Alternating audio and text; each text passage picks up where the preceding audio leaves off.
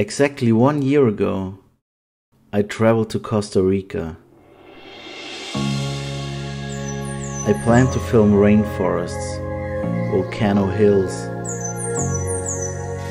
and sunny beaches. But I had no idea to end up five weeks at the surfer hotspot.